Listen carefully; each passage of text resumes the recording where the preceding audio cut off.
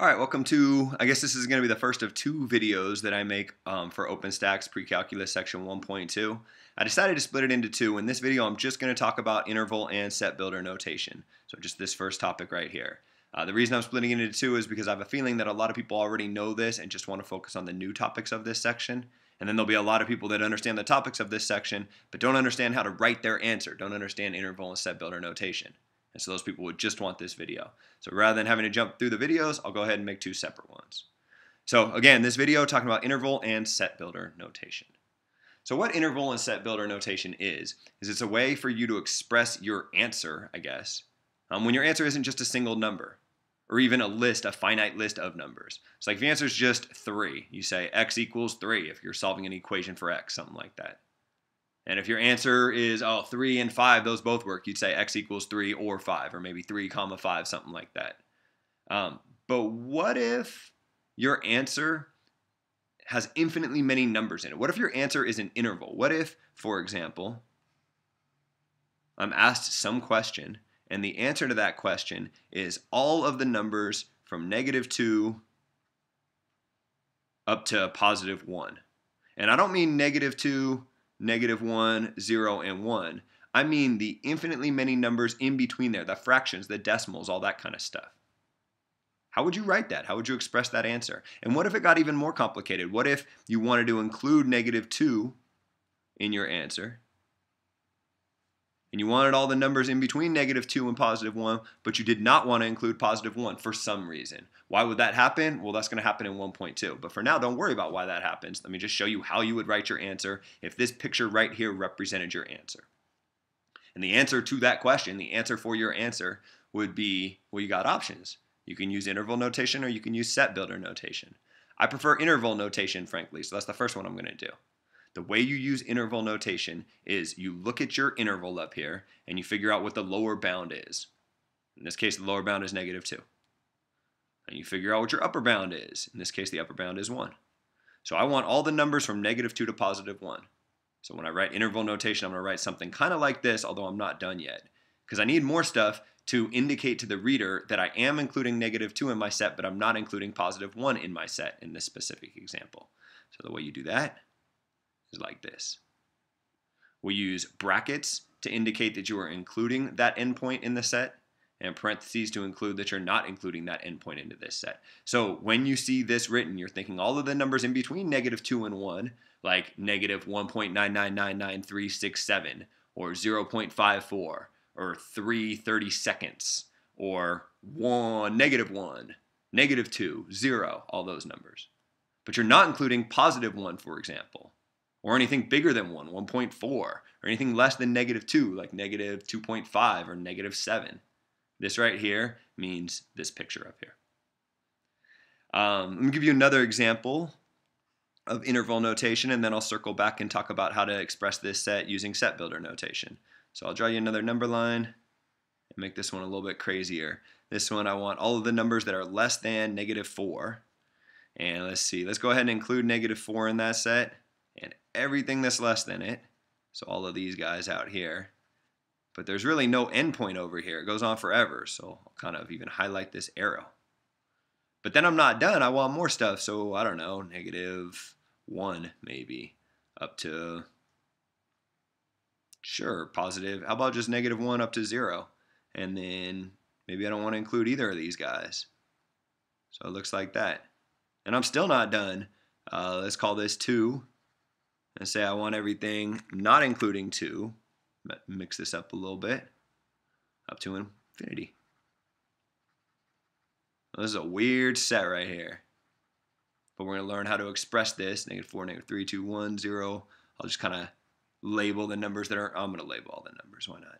Not all of the numbers, but all of the whole numbers um, in between here. So you have this picture right here. I kind of talked through what numbers we're talking about. How in the world would you write this in interval notation? Well, we really have three different intervals, right? Here's one of them, here's another one, here's another one. So really I'm going to have to write three different of these things. Well, this first one's a little bit tricky, right? This Maybe you could do this middle one already. Maybe you could say that all the numbers from negative 1 to 0, well, the lower bound would be negative 1 and the upper bound would be 0. And since I don't want to include either of those two endpoints because of the open circles here, means I want parentheses. It's perfect. These are represented by this. But what about these guys on the outside? This one doesn't have a lower bound. Well, okay, what you do when you don't have a lower bound is I'll say from negative infinity. It's supposed to be the infinity sign. It's a little bit hard to write on a computer. Negative infinity all the way up to negative 4. Note that I'm going to put the brackets here because I do want to include negative 4 in my set. And I don't have a lower bound, so I'm going to say it kind of goes forever. I'm going to use this negative infinity to represent to the reader that I want all of the numbers less than or equal to negative 4. And then this kind of looks weird leaving it open like this, right? I should probably put a parenthesis or a bracket here. So the question becomes, do you want to include negative infinity in your set? And that's actually a really deep question and it's super interesting and you get some higher level math there. But for our purposes, I'm going to tell you, you never include infinities or negative infinities in your sets. For this, for our purposes, for this level of math, we're never going to include infinity or negative infinity in our set, hence this parenthesis right here. The way you can think about it at this point is negative infinity is not a number. At least it's not a real number. Um, it's a concept. And so I can't include it in my set. I just want to use this to tell the reader that I don't ever want to stop. I want numbers as far negative as possible, something like that. Uh, similarly, up here, you might be able to guess that this one we'd end up with everything from 2 up to positive infinity. Note I do not want to include the 2, and I never include the infinity, so this would look like this. Couple of comments. Um, this looks like a bunch of different things. How do you indicate to the reader that all three of these are what you want? That you want the numbers that come from this interval, or from this interval, or from this interval? Well, there's a way to do it, and with interval notation, the way you do it is with the big capital U. That U stands for union. It's the union symbol. And so the way this reads is all this this interval union with this interval union with this interval. Uh, one more comment on interval notation, maybe a couple more comments on interval notation. This interval, if it was written all by itself, negative 1 comma 0, looks a lot like a point, like an ordered pair, like an xy pair, like the point where x equals negative 1 and y equals 0. So it's important that you provide some context with your answers so that the reader understands what you're talking about. Fortunately, it'll pretty it'll be typically be pretty obvious whether you're talking about a point or an interval of values. Um, so you won't have to worry about that too much, just passing that on. Uh, the other thing is be really careful with the order you write these in. You always want to write the lower bound and then the upper bound. So you could not write this set. This is not everything from 1 to negative 2. Logically, they might seem equivalent, right? I'm in- including this endpoint and I'm not including this endpoint and I want everything between 1 and negative 2. That's true, but the standard way of writing things in interval notation is you always start with the lower endpoint, and the lower endpoint is negative 2, the lower bound. So I don't want to write the upper bound first. I think that's everything I got on interval notation. So what I'm now going to do is circle back and give you answers to these two ways to represent these two sets of numbers uh, using what's called set builder notation. So interval notation, you write it like this, set builder notation, there's a lot of weird mathematical things. The first thing is you write these squiggly brackets, which are kind of a pain just to write. Um, when you write squiggly brackets in math, that means the set of all. So instead of writing out in English the set of all x values, so that my x is between negative 2 and 1, but including negative 2. Like you could write that in English, but that would be kind of a mouthful and it would take you forever. Um, so mathematicians developed a whole bunch of shorthand. And the way you write the set of all is by putting in these squiggly brackets. So I want the set of all x values, so I'm just going to write x right here. x is just kind of a placeholder, it's just a variable, just so I'm talking about something. The set of all x such that my x is between negative 2 and positive 1. Again, I could in English write out the words such that. Some authors do that. They write out such that, very few, because that would be not very efficient. Um, some authors will write s dot t to abbreviate such that. Um, what your book uses for such that is just this vertical line right here. Another thing that's used in place of this is a colon. You'll see that written in other texts sometimes, but your text uses a vertical line like this, so that's what I'm going to use. So right now this reads the set of all x values such that. So now I just have to describe my criteria. And my criteria is that the x has to be between negative 2 and positive 1, but I want to include negative 2 and I don't want to include positive 1. So I'm going to say my x is between negative 2 and positive 1, but I do want to include negative 2 and I do not want to include positive 1. So in set builder notation, you'd write this set as this. And the way you would read this is it's the set of all x such that negative 2 is less than or equal to x, which is less than 1. A set builder notation. Your book kind of implies that there's a third way you can write it, um, and the third way would just be with inequality. So just this portion of the set builder notation. It's kind of shorthand for set builder notation.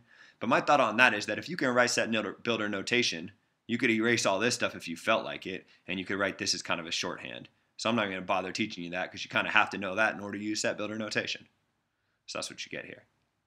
So how in the world would you use set builder notation in some crazy example like this down here? Well, let me show you. What we're going to do is we're going to set up three different sets, just like I set up three different intervals here. And in each case, I'm going to say the set of all x such that. My criteria here is that x has to be less than or equal to negative 4. There's my first set. Uh, my second set is I want the x to be between negative 1 and 0. You're like, oh yeah, and you put the union in between, right? No, your book doesn't anyways. We're going to use unions only when we're talking about interval notation. And when we're in set builder notation, we're going to use the word or. Fine. Set of all x such that x is less than or equal to negative 4, or the set of all x such that, now I want to represent this union here, my value of x has to be between negative 1 and 0. And note that I do not want to include negative 1 or 0. So I'll write it like this. And then I have this third set, so I'll put OR again, and I'll say the set of all x such that, and now it looks like my x value is greater than 2. Note that uh, it's not greater than or equal to 2 because I do not want to include 2. If you wanted to write 2 is less than x, you could. I think this is a little bit more um, logical to write x is greater than 2, although everything before I've been using the less than or the less than or equal to sign, and here I switch to the greater than sign. Uh, but that's the way I would write these in interval and set builder notation. So there's a quick summary of how to use those two notations. Uh, hopefully, if you can do these two examples, you could do any examples that you would need to. So I'll stop this video here.